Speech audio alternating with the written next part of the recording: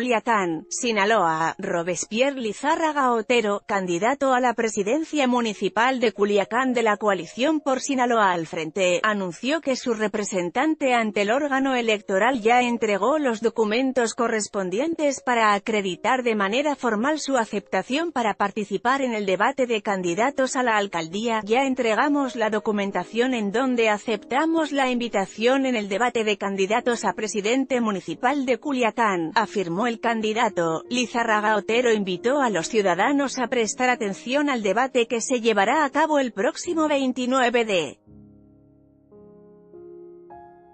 mayo a las 6 horas en el auditorio Linces de la Universidad Autónoma de Occidente, pues es una buena oportunidad para que conozcan a los candidatos y comparen las propuestas. Foto, cortesía, es muy importante que estén atentos a este ejercicio de contrastación de ideas, ahí van a poder colapsar ustedes, además de los perfiles, las propuestas, se van a dar cuenta que la candidatura de Robespierre Lizárraga, un servidor, a la alcaldía de Culiacán por el el Frente PANPRDMCPAS,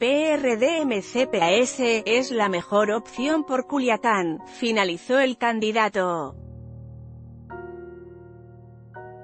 En esta nota, Culiacán Robespierre Lizárraga candidato presidencia municipal debate.